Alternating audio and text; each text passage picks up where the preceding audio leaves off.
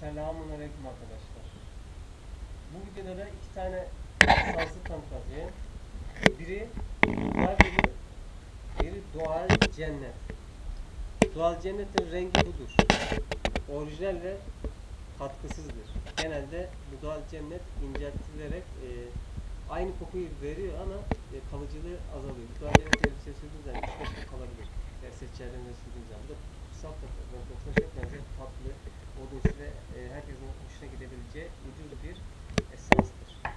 Ve bu da Bulgar gülüdür.